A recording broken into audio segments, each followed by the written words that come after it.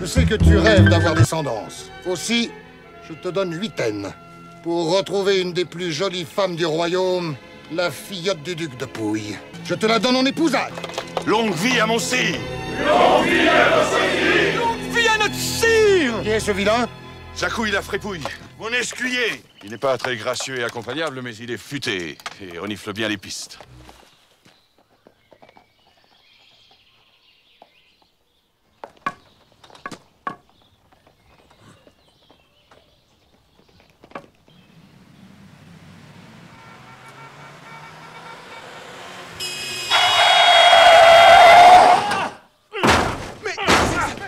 Il est fou, dit Mais sire Un sarrasin. Mais sire. Un sarrasin dans une chariote du diable. C'est tout ferré, il y a point de bœuf pour tirer. Là, mais sire, là.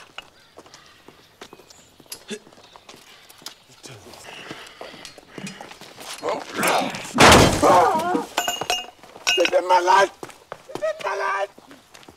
C'est des malades À quelle famille appartient cet écu? Mi, mon petit chat. Mi, mi. Si, là, voilà. Là, si. Bon, allez, continue sans moi, mon chaton. Maman arrive tout de suite. Hum.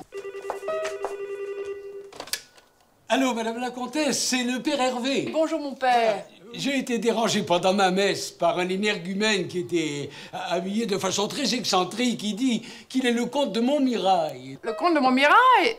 Mais il est mort en 81, c'était papa. Je sais bien, Béatrice, c'est moi qui l'ai enterré. Non, non, non, celui-là, il dit qu'on le surnomme le Hardy. Votre foi le hardi, mais c'est absurde. Ma promise. Ma promise. Vous ici.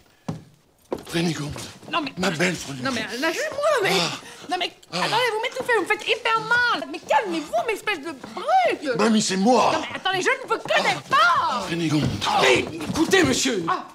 Madame la Comtesse ne vous connaît pas. Mais oui. Certainement une méprise. Mille ans nous séparent. Oui, certainement. Écoutez, je vais me sauver parce que je ne connais pas monsieur. Je suis du temps de Louis le Gros. Il faut que tu m'aides. C'est où que j'appelle du secours Non, monsieur est très gentil, il va nous laisser tranquille, hein. Si vous voulez, je peux vous dépanner de 50 balles. Je dois retourner dans mon temps. Connais-tu un grand enchanteur Ah non, un grand enchanteur, euh, non, mais je connais la rivière enchantée. Ah oui. Et où est-elle cette rivière? Ne bougez pas, on va s'occuper de vous.